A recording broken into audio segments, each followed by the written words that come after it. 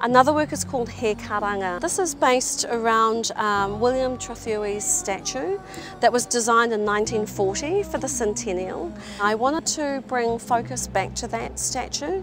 It has three figures, Kupe Raiatea, his wife Hine-te-Aparangi and Pekahourangi who was the tohunga. So we've had this statue cleaned. We've been working with um, Pacific communities who have been making these beautiful lei and ei katu to adorn them. Where in the old days on the marae, uh, women would adorn uh, carvings with feathers. And so things that move sort of activate them and it gives them an opportunity to talk through um, these materials that adorn them. And then there's a song I always loved. It's a very beautiful feminine song. It's called Aotearoa and it's about the moment that Kupe's wife sings about finding this land.